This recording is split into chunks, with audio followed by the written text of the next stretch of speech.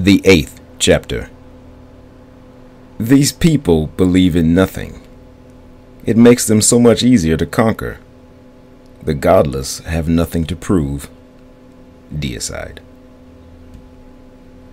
With each new sector of the city cleared, the 203rd Heavy Infantry were met with less and less opposition.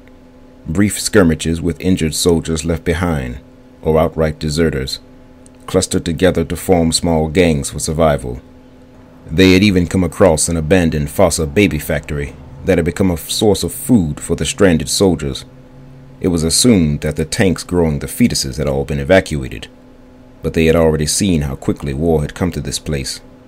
Repeated dialogue with command simply told the women to push further into the city.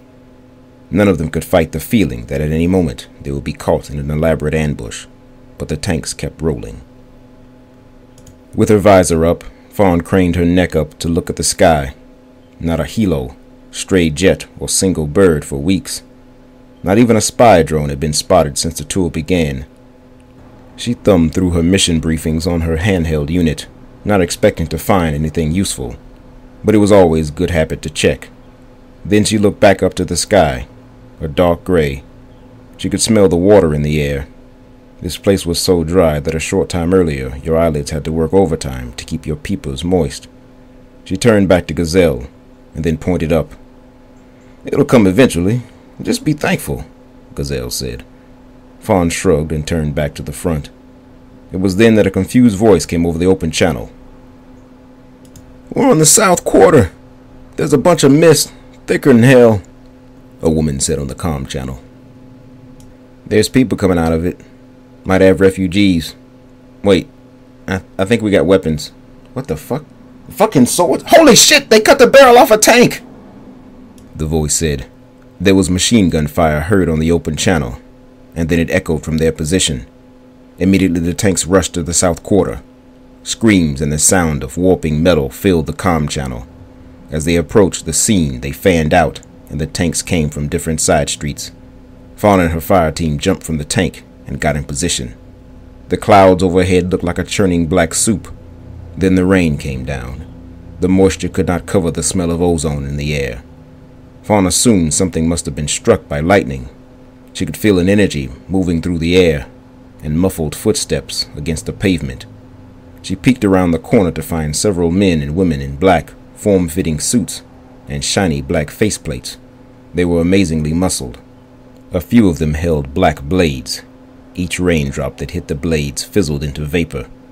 With their strange equipment, she could see that they were not fossas, and wondered if they were human at all. Their huge back muscles and the mechanism running vertically down their spines made them appear slightly hunchback.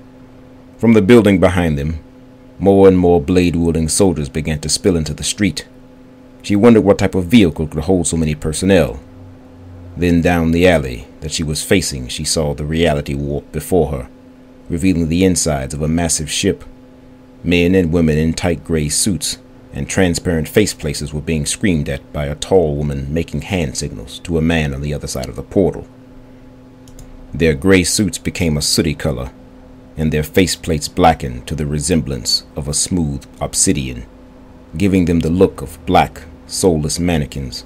They raised their fingers above their heads, and then dove into the hole in this reality. Fawn's blood pressure shot up, and her teeth began to ache as she raised her weapon. Engaging, Gazelle said. Hot brass began to spill out of the side of the turret. The deathless she managed to hit seemed to shrug off the 50 caliber bullets. Fawn fired a grenade into the charging group. She watched as they all dispersed immediately. The outermost leapt laterally to the walls of the buildings. Those behind vaulted over the explosive, while those in front immediately dove into a roll. The screams and the sound of gunfire kept Fawn from believing she was taking part in some extravagant ballet. Every movement of these dark soldiers looked rehearsed. Fawn watched as they unsheathed the black blades from the scabbards riding their spines. An electric buzz seared through the air, and the smell of ozone became apparent once more. She watched as they sliced clean through her allies, weapons, ballistic vests, and their cavities in between. Even the smallest of the soldiers overpowered the allies easily.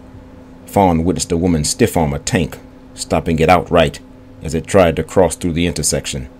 The tank could get no traction against the woman, and was soon swarmed by other black mannequins that quickly hacked it to pieces. The strength of these alien soldiers seemed to be wildly varied. Most seemed to be incapable of running in a straight line, while others possessed the strength to bend steel like taffy. It seemed those that were superior had colored loops hanging at the sides of their waists. Gazelle screamed from the turret. They're moving fast, she said. Fawn could see all of their movements clearly now, knowing just what they would do before they actually did it. She adjusted her aim accordingly. She lifted her toy box and began to lead her newfound target. She watched as a grenade knocked back a man into the alley behind him. Then Fletcher fired the penny black, divorcing a man's head from his shoulders. Fawn could see a black-clad woman was on a path to collide with her. With a few quick movements, the toy box became a laser saw. Fawn rammed it into the chest of their pursuer, bursting the top layer of the breastplate of the suit. Black fluid splattered across Fawn's face, and her laser had been extinguished, unable to burn through the black ooze that covered the laser's eye. The tank fired the main gun at the warp in reality. The shell exploded prematurely inside what looked to be some kind of cubical force field. Within this field was a figure that seemed to be looking directly at Fawn. Fletcher caused another head to be popped off from one of the soldiers. Fawn had just noticed that Chittle and Letchway were screaming.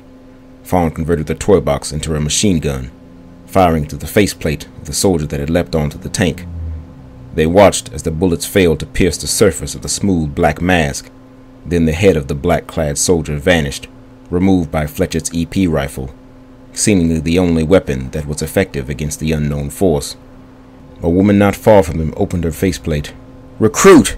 Back on the ship, the woman said. Her kinky, reddish brown hair framed her tan and freckled face.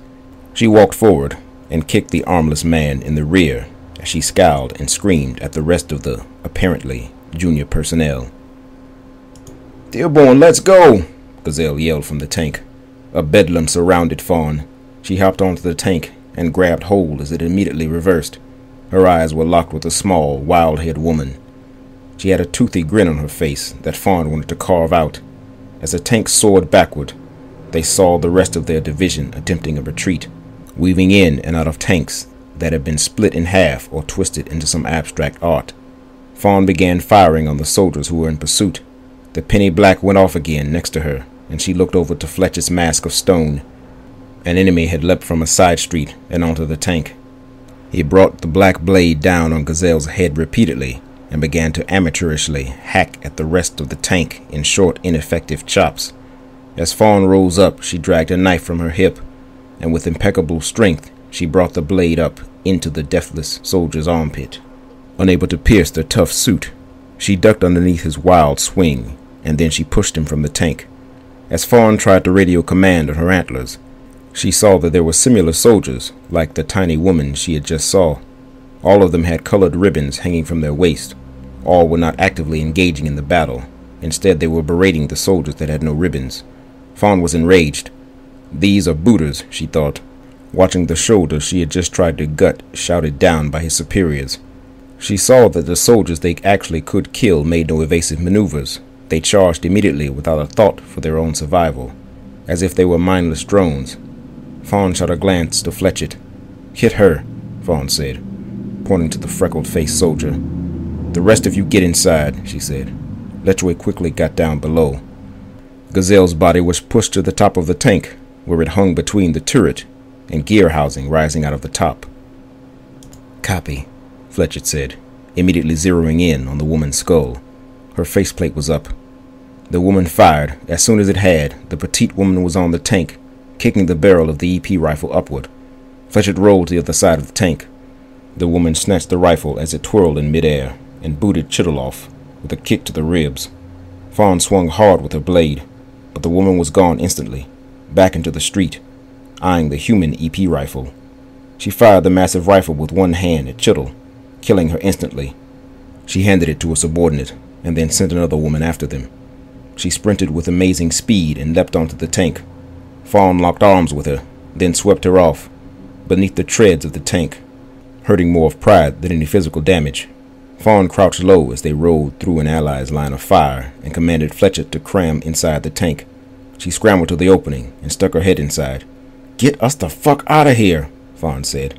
The women inside the tank were packed tight, with an extra body inside a tank that was supposed to hold three. They were quite uncomfortable. As the tank finally cleared most of the carnage, they came to the edges of the city. Fawn could see that the dawn was coming. A horizontal beam of orange was creeping beneath the night's purple. She heaved a sigh, just before more movement caught her eye. On the horizon, portals were bleeding men and women onto the planet's surface, the soldiers at the ground running, scrambling into the city. She looked to the rear once more and saw the red-headed woman was following them. Fawn nodded, seething that she and her team had been singled out by this insane woman. An urgent message came in on Fawn's antlers.